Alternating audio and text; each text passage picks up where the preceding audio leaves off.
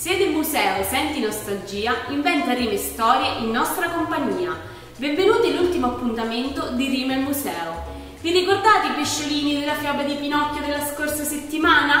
Oggi ve li presentiamo dal vivo.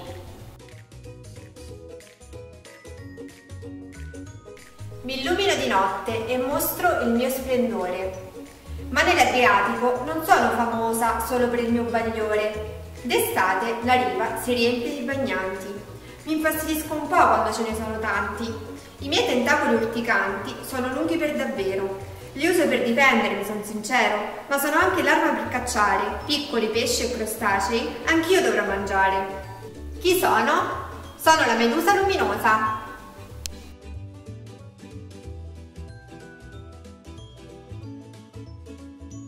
Non sono l'unico pesce che riesce a volare.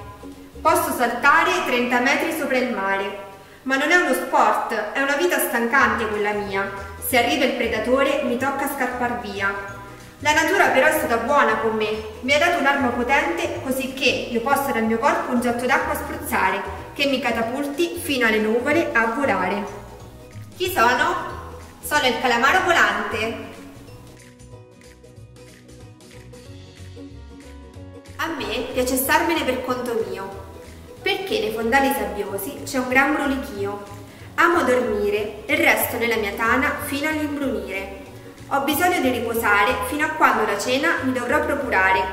La mia arma letale è cambiare colore. Mimetizzandomi sono un gran cacciatore. Chi sono? Sono il moscardino bianco.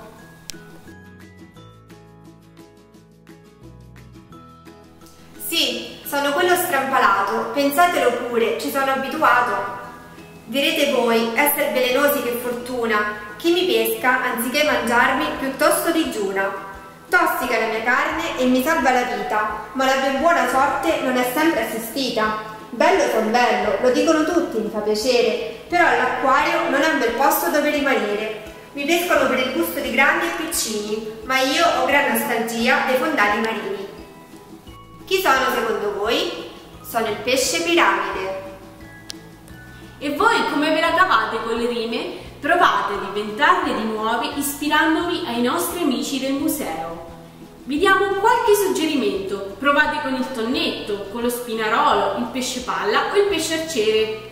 Inviateci le vostre rime e perché no, se volete, qualche disegno ispirato alla storia di Pinocchio. Inviateceli alle nostre pagine social, saremo molto felici di pubblicarli.